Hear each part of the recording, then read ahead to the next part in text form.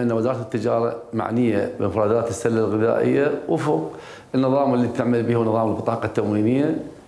وفي الشهر السادس من العام الماضي أقرت الحكومة قرار 160 بموجبه ألزمت الشركة العامة لتجارة المواد الغذائية بالتعاقد مع أحد الشركات القطاع الخاص العراقي لتوزيع أو تجهيز سبع مواد من مفردات البطاقة التموينية لستة أشهر. وحقيقة من يسأل على أشهر شنو السبعة؟ إحنا في عام بالله 2015 كان قرار.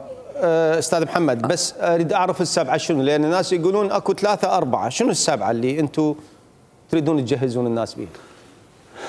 اي يا واش. إحنا ننطي معجون الطماطة خوش.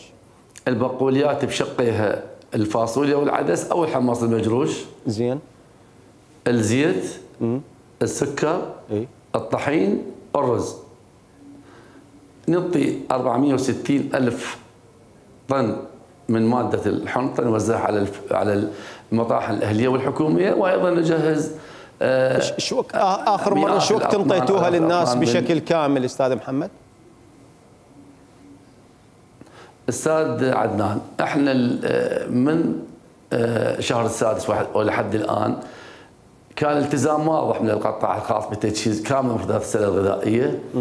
وكل المواطنين حسب ال ال ال ال ال الوثائق اللي عندنا انه مستلمين البطاقة، قد اكو تفاوت تتأخر مادة الرز أو تتأخر مادة أخرى بسبب اجراءات الفحص أو النقل عبر البحار، لكن سبع مواد يستلمها المواطن بالكامل.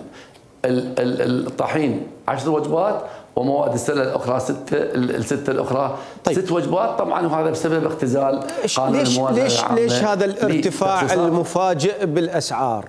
يعني أريد أفتهم أنتم مسيطرين آه، سيد عدنان يعني جدا إحنا حقيقه إحنا ملتزمين جدا بتجهيز مفردات البطاقة التموينية والمواطن يدفع آه، 500 دينار لكل المفردات أحيانا يصير تجاوز من الوكلاء ياخذ 750 ألف